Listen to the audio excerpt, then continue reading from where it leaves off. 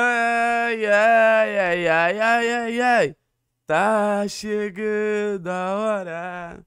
Acabando o Campeonato Paranaense, rapaziada. Algumas pessoas dando graças a Deus que tá acabando. Porra, quero o jogo de verdade, quero o Campeonato Brasileiro, quero Libertadores. Outras pessoas, como eu, viram muito valor no Campeonato Paranaense, né? Viram uma jornada muito legal que o Atlético conseguiu disputar, que o Atlético ele conseguiu ali fazer uma grande campanha como um todo. Mas eu acho que como qualquer jornada, independente se é um nível foda ou se é um nível inferior, o que dá para dizer é, cara, o Atlético ele viveu esse Campeonato Paranaense. O Atlético teve grandes momentos. E minha intenção aqui nesse vídeo é separar cinco grandes momentos que o Atlético ele teve ao longo da competição, cinco grandes momentos que o Atlético teve ao longo do Campeonato Paranaense, histórias individuais, histórias coletivas, questões até mesmo envolvendo punições, mas que fizeram parte e de certa forma engrandeceram essa campanha. Vou pedir para você deixar o like no vídeo, se inscrever no canal e lembrando que esse vídeo é patrocinado tanto por United Gym, a melhor Academia de Curitiba. Agradecer o Fábio a parceria, mais de um ano de parceria aí que o nosso querido Fábio proporcionou entre o canal Três Pontos e a United Gym. Foi um, um camaradaço, continua sendo. E a KTO, que a gente sabe que é uma marca que está do nosso lado, nos apoiando, possibilitando a gente produzir conteúdo. E a gente sempre busca também incentivar vocês a se inscreverem na KTO, usando o nosso código, que é uma maneira da marca ver que também a gente tá vendendo eles e que faz sentido ter essa parceria, mas de qualquer maneira agradecer a KTO, é, agradecer o Vinícius Furlan, para quem não sabe, trabalha na KTO e possibilitou também que essa parceria acontecesse, então tô no momento de gratidão, né? Aquele momento de despedida, mas um momento de gratidão muito grande por tudo que a gente vive aqui diariamente no canal 3 Pontos, sabe?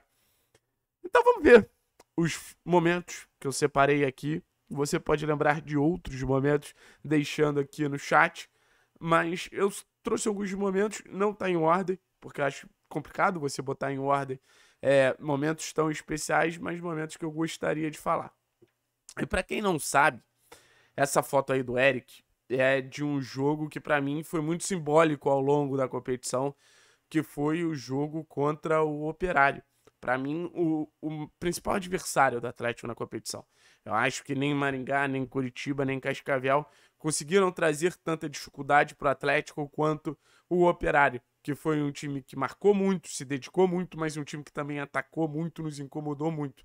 E a gente acaba vencendo esse jogo por 3 a 1 mas foi um jogo que eu acho que pela primeira vez no campeonato o Atlético ele acabou sendo desafiado. Nesse momento, inclusive, da foto do Eric comemorando o seu gol, o Atlético ele estava perdendo o jogo, né? Então, assim, o Operário acabou não chegando na decisão do campeonato, mas foi um time que eu acho que apresentou um futebol legal, futebol muito competitivo, inclusive oportunizou jovens que é, são do Atlético, né? Vinícius Mingotti, do Duchat, e tiveram um retorno muito grande técnico com esses jovens dando a resposta, mas esse jogo especificamente me marcou por ter sido um jogo que o Atlético sentiu muita dificuldade, o, o Operário em vários momentos se sentiu muito confortável para jogar, sabe? Mas mesmo assim o Atlético ele botou em prática algo que o Paulo Turra bate tanto da tecla, que é a famosa cultura do vencer e fez um jogo muito bom no segundo tempo, né? Participação do Terãs, participação do Pablo,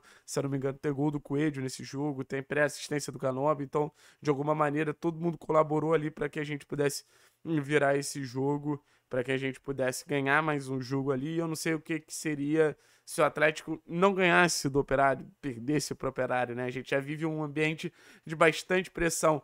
É, sem derrota, imagina com derrota. Eu fico só pensando, sabe? Agora a gente vai para a próxima foto que eu confesso que eu não sei qual é, vou saber junto com vocês. Vitor Roque. Talvez essa foto devisse estar no final do vídeo, porque é uma foto que fala da final, né? E eu acho que a final, o primeiro jogo da final, foi um momento muito legal também, porque a gente viu um Atlético é, saindo atrás, numa reta final do jogo, pensa assim, cara, você toma um gol com 70 e poucos minutos, 60 finalzinho dos 60, começo dos 70 minutos. E você ter que ir atrás desse resultado para não entrar em desvantagem numa final, eu acho que ali naquele momento, até com o jogador a menos, o Atlético conseguiu se superar, se dedicou pra cacete para que pudesse ter vencido o jogo, acabou vencendo o jogo. E eu acho que foi muito especial esse momento, sabe? Acho que foi um momento ali que a gente sentiu é, o Vitor Roque nos ajudando pra cacete, mas o Eric, que vem sendo um líder, também nos ajudou. O próprio Zé Ivaldo, que é, é uma surpresa nesse time titular, ele, ele é o cara que gera o pênalti, então foi um momento de um Atlético dos jogos grandes, né? A gente sempre bate é, na tecla que o Atlético é acostumado a jogos grandes, que o Atlético se sente confortável em jogos grandes. E final de Paranaense, com o estádio do adversário lotado, querendo ou não, não deixe de ser um jogo grande. O Atlético se impôs, mostrou que briga de verdade nas competições, mostrou que é uma equipe é, muito forte e, e o resultado tá aí. Uma belíssima vitória, sabe? Vou botar mais uma foto para relembrar outros momentos. Tem momentos que não são só esportivos, mas esse também é um momento esportivo. Vou deixar momentos simbólicos para o final. Esse foi a goleada contra o Azures. Foi um jogo que, talvez em questão de dominância, o Atlético tenha se comportado melhor. Porque o Campeonato Paranaense para o Atlético foi muito esse desafio, né? Ser dominante, ter a bola, é, controlar o jogo. E o jogo contra o Azures, uma goleada de 5 a 0 acho que foi o momento que o Atlético mais conseguiu se impor. O jogo contra o Operário, um pouquinho diferente. Foi um jogo que a gente conseguiu contornar as maiores dificuldades. Contra o Azures não foi um jogo difícil. Na real, o Atlético transformou num jogo muito fácil. E o 5 a 0 de certa forma, até saiu barato. O Atlético poderia ter feito mais gols.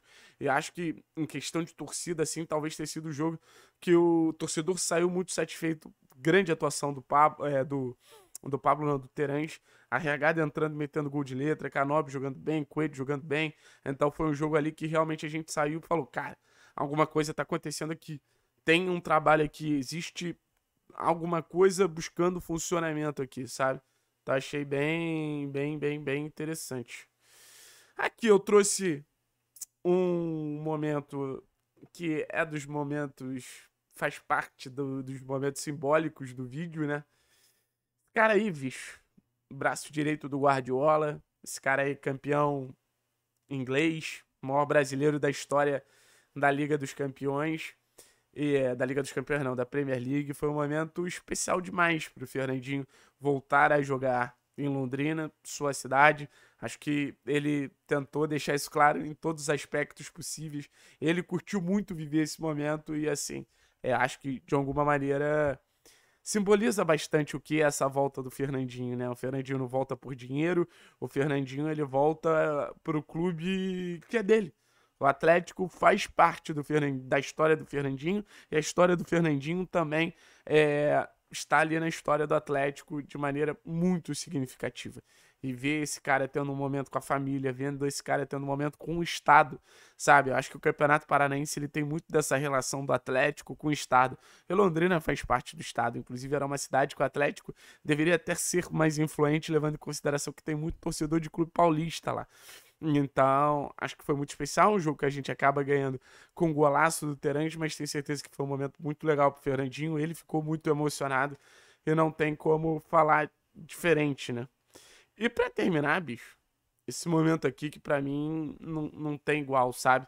Um público recorde em dois jogos, né? Você teve é, tanto o jogo contra o Maringá quanto o jogo contra o Foz do Iguaçu, se eu não me engano, como jogos de recorde de público é, envolvendo só o público feminino e de crianças, a torcida feminina do Atlético deu um verdadeiro show, representou o Atlético no momento que o clube estava punido, então acho que tem toda uma dificuldade nesse cenário como um todo, sabe? Acho que, assim, tiveram no estádio, cantaram, apoiaram, fizeram a parte delas e mostraram que a torcida do Atlético ela é muito forte, vai virar até documentário, já virou outro, outras matérias especiais ali, porque, assim, ver basicamente a cidade parar um estádio como é a Arena da Baixada, estádio Copa do Mundo lotado apenas por mulheres, eu acho que representa muito.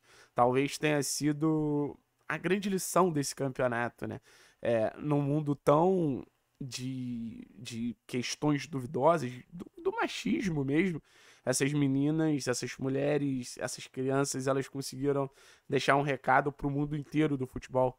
Eu acho que em nada o Atlético teve tanto em evidência como nesse caso até agora na temporada, né? Então, de alguma forma, um momento muito especial, um momento muito legal. Todos foram momentos muito legais. Está chegando ao fim. O Atlético, dá para dizer que entregou uma grande competição. Agora é só encerrar com ponto final ali da melhor maneira possível contra o contra o Cascavel. Obviamente me falhou aqui a memória, mas já voltou rapidamente, pessoal. Valeu? Tamo junto, é nóis. E se eu esqueci de algum momento, comentem aqui embaixo, tá? Se eu esqueci de algum momento, comentem aqui embaixo, que vai ser um prazer relembrar junto a vocês desses momentos. Valeu, valeu, valeu, valeu, valeu. Tamo junto.